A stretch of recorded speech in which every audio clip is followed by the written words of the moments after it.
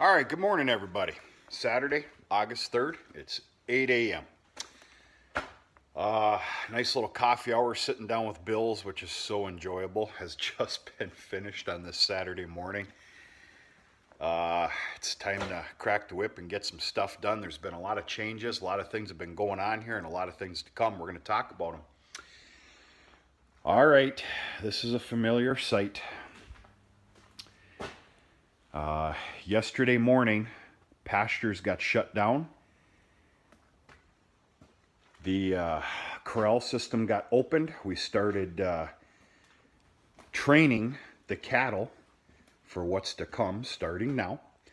The bulls have been collected, treated, will be continue to be treated, and are back in the pens to mend up. If you keep up with the videos, this big guy right here, um, I'm only hoping he has a severe case of foot rot. He actually was doing a heck of a lot better uh, the last couple of days. But uh, nonetheless, he's, he's kind of down and out here for a bit. And we're going to talk about treatments that I use that might differ from yours. We all do our own thing, okay? This guy here, uh, he threw out, I'm going to believe he threw out his left hip. And I believe he's also got a little foot rot issue. Uh, I'm hoping a vet is here Monday to take a really good look at his hip and give me some answers of what to expect and what should be done. we'll see what happens. Yeah, uh, yeah. It's going to be a little bit of a long-winded video as long as I have battery life. Okay, it's been a lot of questions of what I use for not only hoof rot treatments and everything else, but also fly control and everything. All right. For hoof rot and almost everything else, Nuflor. This is literally the wonder drug. This is the common poor man's fix for what is like Zactran or Draxxin. Uh, this is what my checkbook can afford here. This is great stuff. We are huge believers in Nuflor. It is literally the wonder drug, and yes, we also use it for foot rot. Usually, two treatments, and they're back to square one. Uh, what do we use for treatments? We do uh, uh, 10 mils, which sounds like a lot, but it's not. 10 mils every other day for three sittings, and then that's enough. Um, usually everything or anything clears up by then, for the lack of better words, but uh, floor. Also for foot rot, Koppertox. This is basically just a uh, sprayable type bottle um, to go directly on the hoof and just a little bit above and um, I can't give you the ins and outs. You guys, you go ahead and do your research, but I'm here to tell you this stuff does help and it does work. Koppertox. Okay, fly control. This is a uh, this is a big conversation we're going to have here.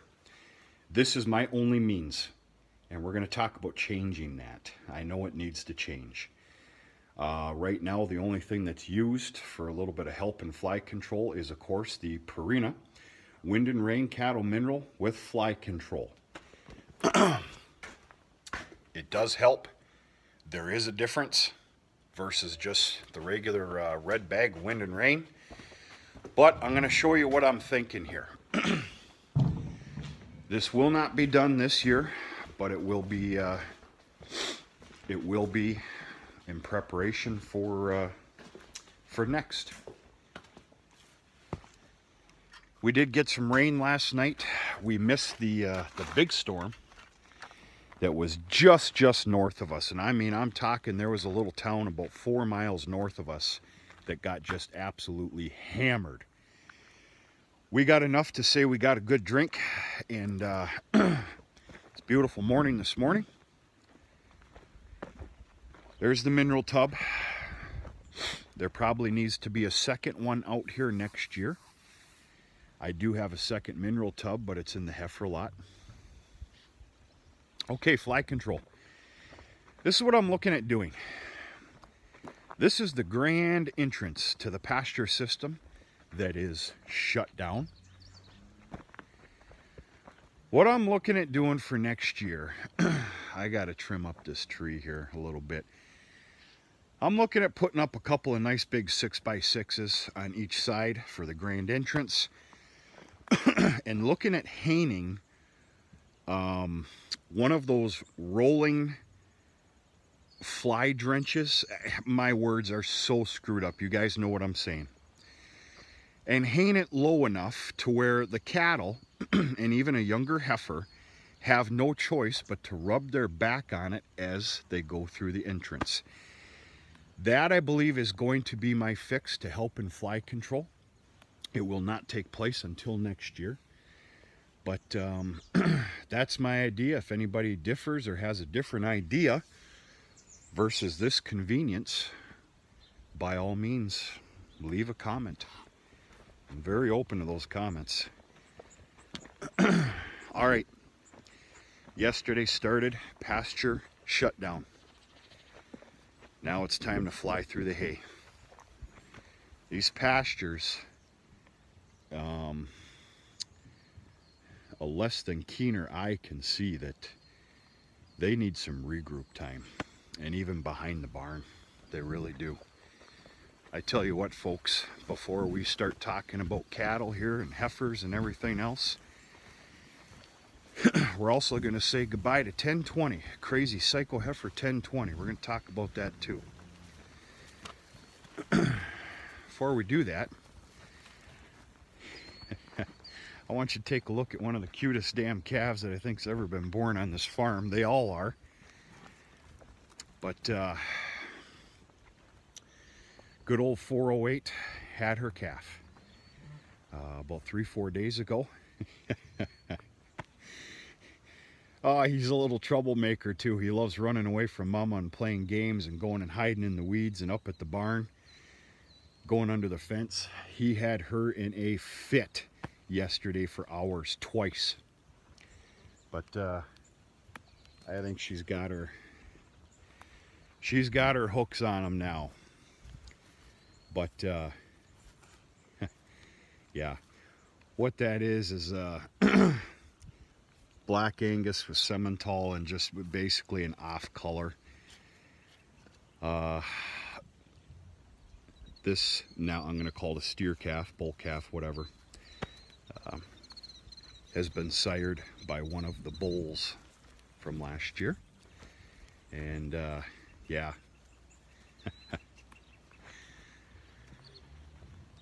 All right.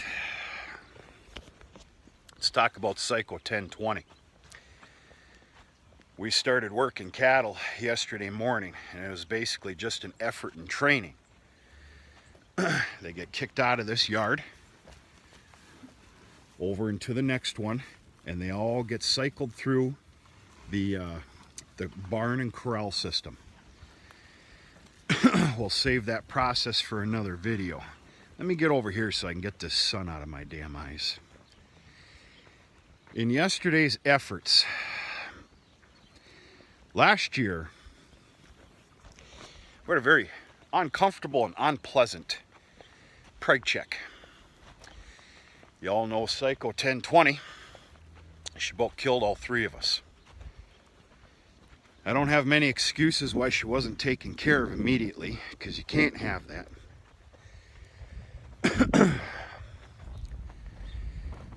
but, all right, we got one in heat here. I gotta all right. She was left alone. Went through the rest of the late fall, winter, and the spring. She settled right down. You could still still see that she was always, you know, doing this stuff when you're out there. But she was okay. She settled down immensely. Uh-uh. No. Not when it comes to two people and anything near the corral. Yesterday, she didn't cause any trouble, but it was extremely uncomfortable she was a ticking time bomb. And uh, in an hour and a half, she's gone. And uh, I'll spare you the details, but she's going to be gone. She's going to be taken care of and have some pretty good Angus burger. We'll leave it at that. All right, normal process here for these big pigs that are going to be going through a pile of hay here for weeks to come while the pastures uh, regroup. Three bales in the morning. Last night I got away with only having to feed one extra. Um, I hope that trend continues. Four bales a day for three plus weeks is a lot of hay. It'll be okay though, it's been accounted for.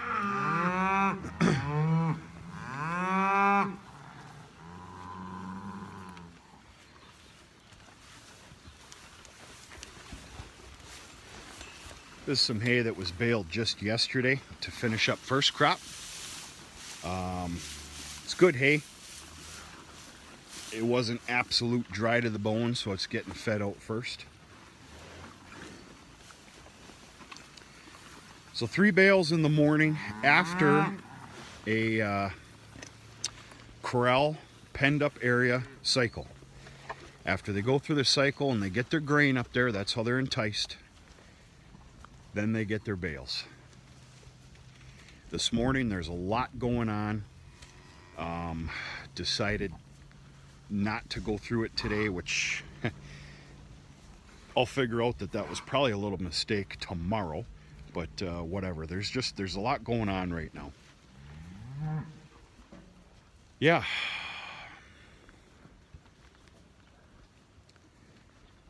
See if we can get 1020 here so you can say goodbye.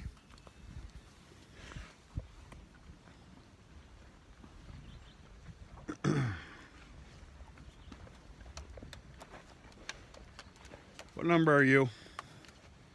1046.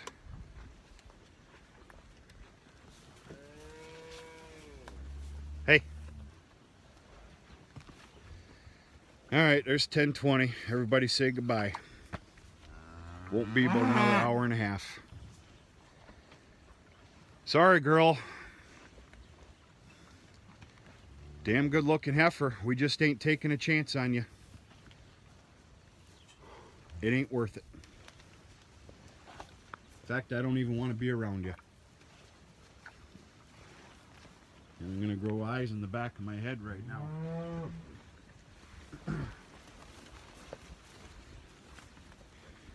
Just puts you on edge. And the way this farm is, the way it's structured and handled, we deal with them extensively, just like I'm doing right now. Every day, two, three, four times a day. I'm done with that. I've been a little laxed with my decision. Uh, yesterday morning was another. What number are you? Hey. Yesterday morning was a big uh, reality check again, and enough is enough. 1033. 1033. So no more games. It ain't worth it. A lot of you have said that here in the last handful of months, and I agree, but now there's going to be something done about it. So. What you want? You got something you want to say to me? I know. So anyway, folks, it's just a little Saturday morning update here. I had about 10, 15 minutes. That's what's going on. Yeah. I think that's a pretty good idea for that uh, that uh, that that draping drenched fly ordeal. Uh, you know, you do it that way, and every one of them's going to get touched by it a couple times a day which maybe is a little too excessive. I don't know. I'm open to those comments as well. That's my fix. All right, stay tuned today. I got a lot going on, but it's a, it's a little bit of a breathe easy day today. basically kind of go about about your business a little calmly. Does that make any sense? You know, all the bailing's over unless somebody calls for uh, a little bit of custom baling, which I don't see. I don't. We'll see what happens. Uh, we're going to do a couple of videos today. We're going to take a look at both sorghum fields, which are uh, uh, pretty impressive.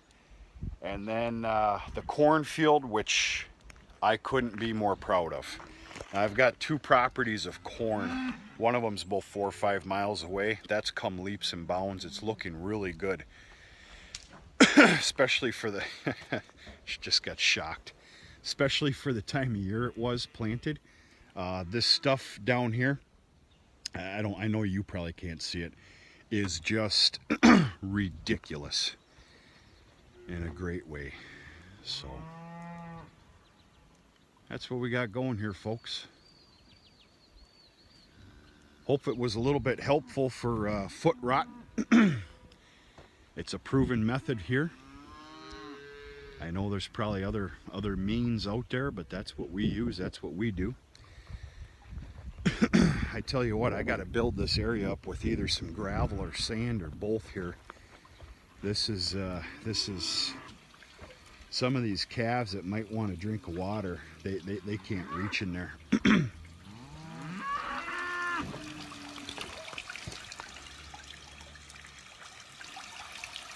And of course you can see they've been drinking water like it's going out of style because it's convenient. They're here.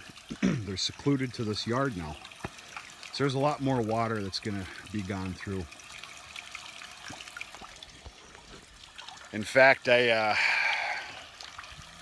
changed, uh, I put, in a, uh, we're going to call it a Big Bertha pressure tank. Uh, that just happened a couple days ago. And uh, I'm looking at doing a couple other things in an effort for uh, water pressure here. It's not bad, but with the amount of cattle that's here now, we'll put it to you this way. In a couple of years, I need to put in a new well, another well, excuse me, on the farm. Because here's the deal. This farm and the house, everything's controlled by one well. That ain't gonna cut it. There's problems coming. So within a couple of years, there's gonna be a well dedicated for the farm uh, I see it going right in that corner over there. and uh, kind of a new pressure water system here for all the cattle. It, it, it's a necessity. It's going to have to happen, or big trouble is going to happen. Or I'm gonna I'm gonna be replacing uh, well pumps often, which uh, yeah, those aren't cheap. So the fix right now is a couple of large pressure tanks. The pumps will run longer, but less times a day. Many less times a day. That's it, folks. I got to get my button gear. I got to hit the old Saturday morning post office here. Stop off at the feed mill real quick, and then uh, I've got some people coming here for uh, taking care of uh, 1020. So I hope everybody said their goodbyes. Folks, we're going to talk to you sooner and later. Stay tuned for a couple more videos here today.